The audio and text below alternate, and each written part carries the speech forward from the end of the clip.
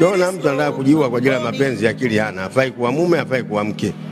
Mm, ulali napata pressure, napata pressure nini? Babako anakufa baba, anakufa mama. Kumbukeni tu mapenzi yanauma wapi? Hata nyawa na mapenzi e, kuku profesa wa kuoa na mapenzi na hajiui, amba unakufa kwa mwanamke ukajinyonge kwa mwanamke, hata shetani mbinguni anakucheka. Mwaprochi msichana kidogo tu, unasikia sijala ujala, mimi ndio babako, nakulisha. Ulikuwa unakula wapi?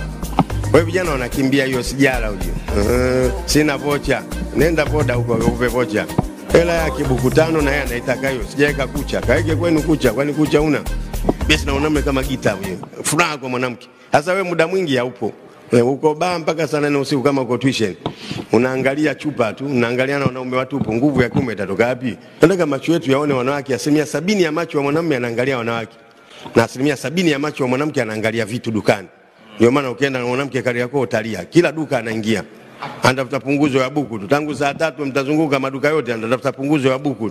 Mwanamume asilimia sabini wanaangalia madem macho yao angalia, angalia toto, angalia toto, asilimia sabini angalia toto, eh eh, unaona, angalia guli. Kwanza wakati mwingine nyinyi wanaume mko kwenye baa kutwa nzima mpaka jioni, mnaangalia na chupa, mnaangalia na wenyewe. Eh, una, una sawa hata sura ya mkeo unaona, unarudi unakumbuka sura ya raga tuna